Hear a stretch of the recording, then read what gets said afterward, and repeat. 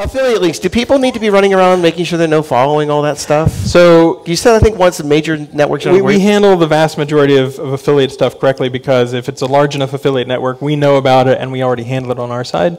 Okay. But even though we handle, I believe, the vast majority of link aff- uh, affiliate links appropriately, if you're at all worried about it, I would go ahead and just add a no follow because you might be earning money from that. Okay.